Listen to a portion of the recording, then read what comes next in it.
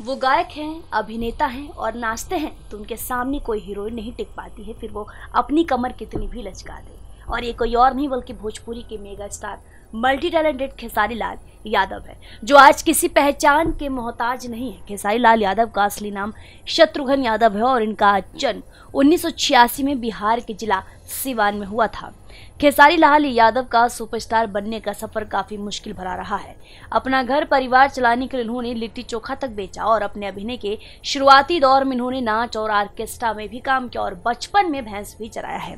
उस वक्त इतनी परिस्थितियों से गुजरने के बाद किसी को नहीं पता था कि खेसारी लाल यादव कभी भोजपुरी के सुपरस्टार बनेंगे।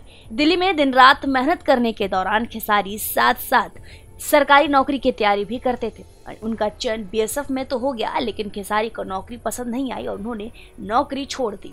बाद में उन्होंने अपना एक एल्बम निकाला जिसका नाम था माल भेटाइल मेला में। फिर क्या था इस, एक एल्बम ने खेसारी को सितारा बना दिया।